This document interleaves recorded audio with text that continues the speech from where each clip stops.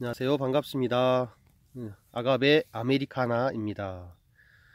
뭐 용설란과이고 용설란과의 대표적으로 큰 게 이제 아메리카나 그리고 어, 페록스 그 이제 화음이라는 종류 예, 세 종류 정도 있는 것 같습니다. 요거는 이제 아메리카나라고 해서 많이 보급이 돼 가지고 어, 저렴하게 구입할 수 있는 종류인데요.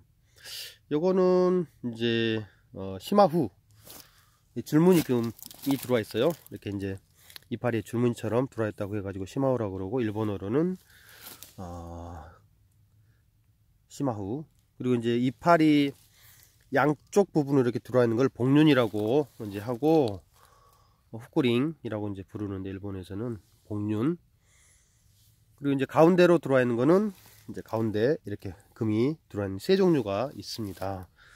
이건 이제 줄무늬 금인데 선호도가 좀 높아가지고 요게 팔립니다. 그래도 네, 아가베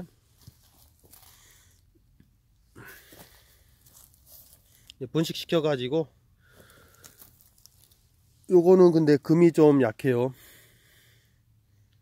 앞에 예, 약초도 좀 올라오네요. 저런 것들 풀, 뭐 소리쟁이 같은데 저게 이제 약초로도 다 쓸 수 있는데 예.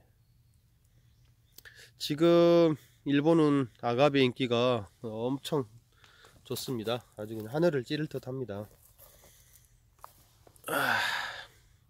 근데 이게 이제 아가베는 이 끝부분이 거의 가시로 이렇게 뾰족하게 이렇게 있어 가지고 음, 집에서 기를 때는 이제 조심해야 됩니다 이런 부분들 뭔가 이렇게 딱 꽂아 놓으면 좋은데 네 아가베 아메리카나 였습니다